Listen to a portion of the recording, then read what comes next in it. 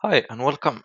Uh, today we are going to check out this new multi-signature in uh. And uh, yeah, so we have this full guide here. If you need step-by-step -step guide, you can check out that.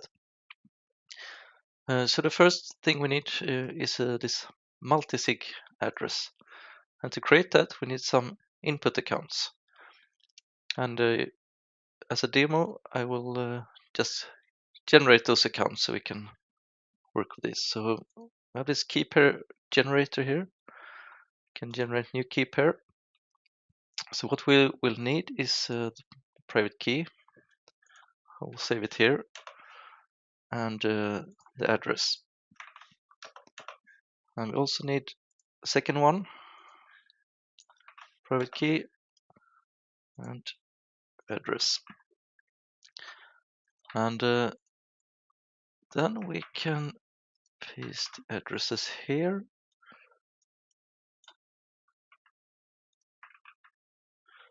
And generate multisig. So this will be used to uh, receive some funds. So let me copy this. And uh, I will send some from here actually. I have some small amount here. Ah, wallet unlock. Okay.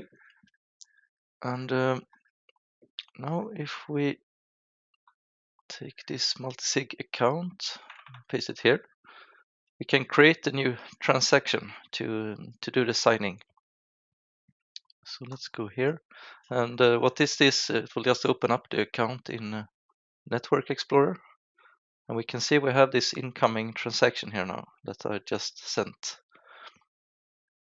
We could also paste the paste it here. It would do the same thing. Just load up this page. So let's uh, sign this incoming transaction here. So I just press sign block. And we get this unsigned block here. We can copy it or scan the QR code. And we go to step two here for the remote signing uh, procedure. Paste it in here. And now we are in the actual signing part. So we select multisig and we are ready to go. So what we need here is a, a second participant. We we have those two accounts, so we will have two participants we can uh, yeah let's let's copy the signing link first. So we can do that or we can just copy it up here the whole url but if we are using the desktop wallet desktop app we can copy this link. And uh, in the multi-signature we have this multi-sig for participants. So we could paste paste it in here and press sign. Uh, or we could also do like we just did for the other wallet to paste it here. It, it doesn't matter, it will go to the same, same place. So you have these two tabs and uh, we can begin with this uh, procedure. So we will paste the private key for first account and the private key for second account. And we start multi-signing. And then we need to uh, take this output data from the first one, paste it here, and the other way around. So we share this uh, data between the participants back and forth, and this is needed to do the multi-signature. So we have a few steps to do here. Copy that one, copy that one. Next step. So now we are at the final step paste that in, paste that in. And when I press the final step here, we will get this signed block.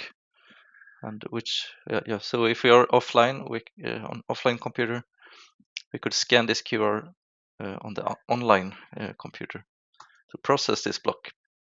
Uh, so I'll just copy it. And uh, yes, we can see we have the same one in this wallet. So both wallets will create the same multi-signature. And then we go to step three here, paste this nano process block. And we can verify that it's still the correct transaction and confirm.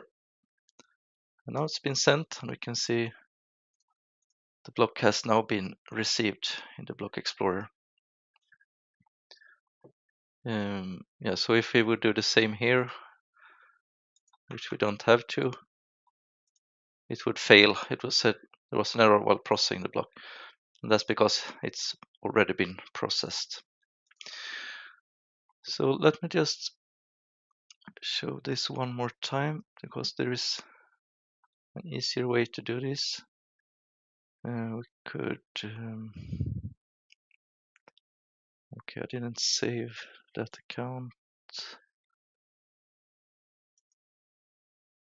Okay, we could actually do it here. We can create a new block. Let's do that.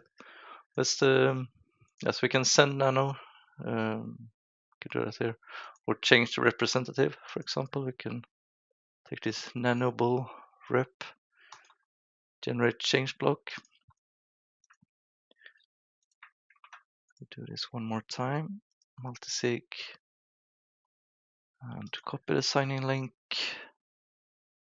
Go here, paste that in. So now we are using the same uh, block here, and it says here you're about to sign a block to change representative.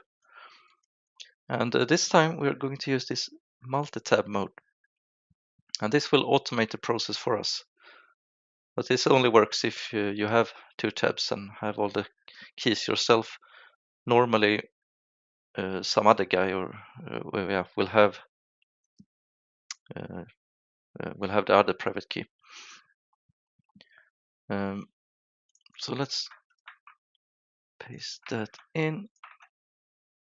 And if I change participants here, for example, to five, it will change it over here. So these two tabs communicate uh, over local um, communication in the browser itself.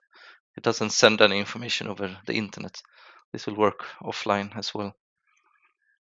So I can just press start multi-signing and it will do everything automatically. And there were some errors here.